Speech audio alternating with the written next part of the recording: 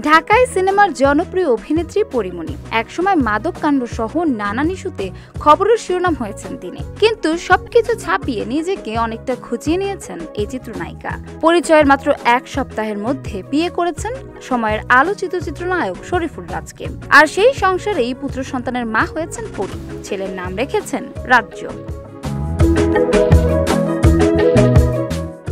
বর্তমানে স্বামী সন্তানকে নিয়ে বেশ সুখী সংসার করছেন এই চিত্রনায়িকা। তাই অভিনয় থেকে কিছুটা দূরে তিনি। কিন্তু সিনেমার পর্দায় দেখা না গেলেও সামাজিক যোগাযোগ মাধ্যমে প্রায়ই ভক্তদের নজর কাড়েন পরিমণি।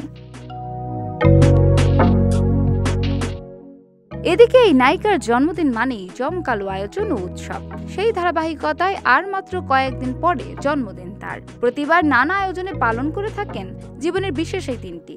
তাতে নানা উপহারও পান পরি।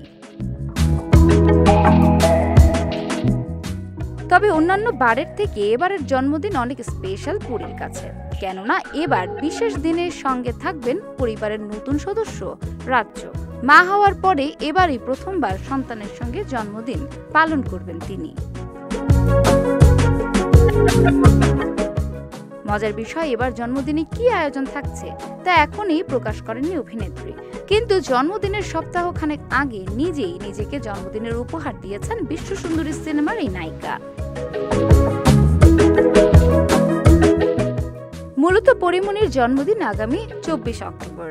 জন্মদিনের আগে সম্প্রতি ফেসবুকে আইফোনের কয়েকটি ছবি পোস্ট করেন তিনি। ক্যাপশনে লিখেন, নিজেকে গিফট করলেন।